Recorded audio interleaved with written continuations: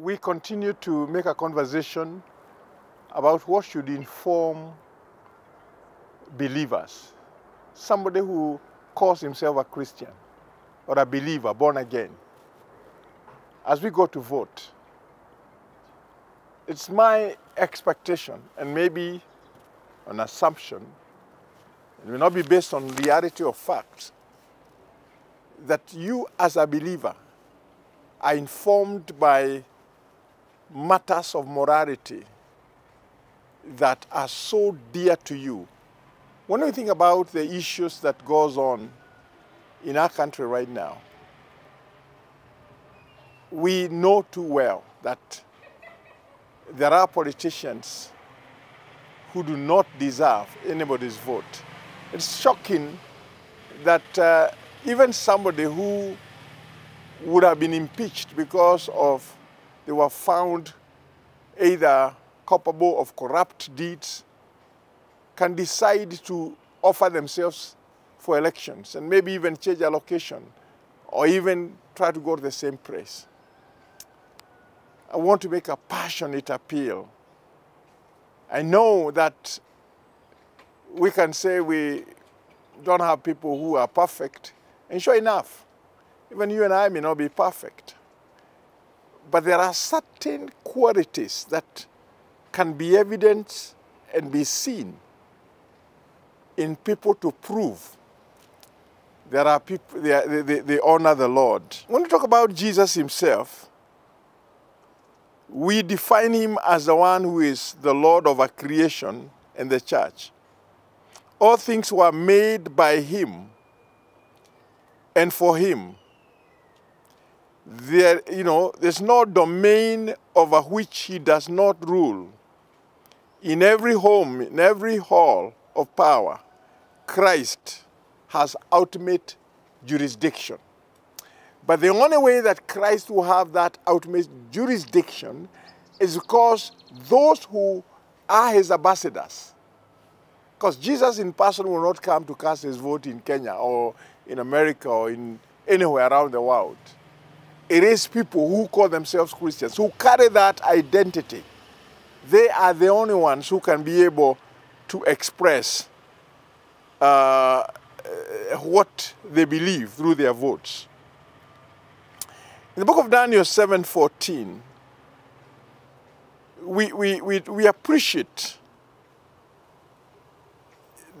Daniel celebrating God and saying he that, that God is one who gives, who has authority, glory, and sovereign power, and that all nations and peoples, every language, should worship him because his dominion is an everlasting dominion that will never pass away, and his kingdom is one that will never be destroyed. And we need to appreciate that.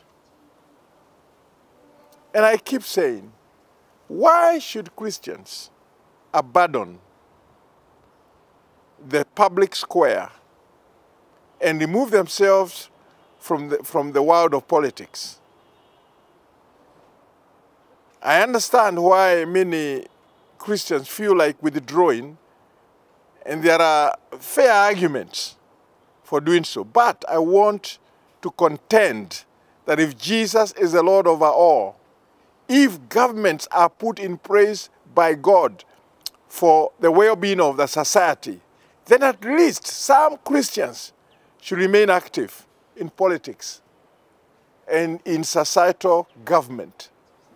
And I keep urging, and I still pray that even we, as we look, look through the records of those who are presenting themselves, that we'll find people who are committed Christians, who we can vote for. And I've said this clearly. If I know someone is a believer, regardless, if I know they are sincere believers, regardless of what party they are standing for, that one can get my vote. This idea of saying that you have to vote all the six from one party I have problem with that. A problem with that. It is important for us to think about the character quality of an individual. A person who knows when they enter that office, they will not just be there for their own stomachs, for their selfish interest, but they'll be there because they want to advance the interest of the population that put them there. And like I said earlier, in some of the programming before, we, are, we had a reference of a man that ruled us for 10 years, a person who occupied spaces in the public square for more than, I think he was talking about half a century, at least for 50 years, maybe plus. And for all the time that he, occupied those positions, nobody can point at him accusing him of any corrupt deed or abuse of power. May God raise leaders in our country as we go to vote in August 9, 2022. Raise leaders even if they cannot be exactly measured up to his standards, but who are close to what he stood for.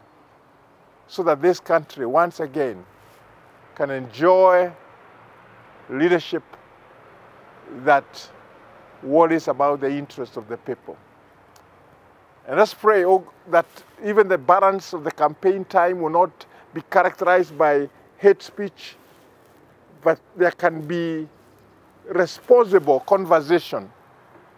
And let's pray that Kenyans, Kenyan youth will not be weaponized by politicians to fight their opponents.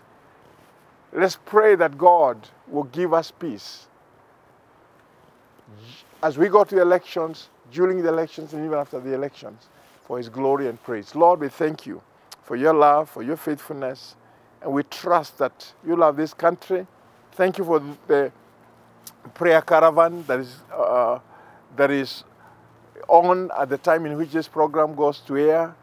Pray for protection and favor upon all those participating. And we pray that your name be glorified and that, dear Father, the soul of this nation will be secured because men and women have chosen to pray and trust you for intervention, for peace. In Jesus' name, amen.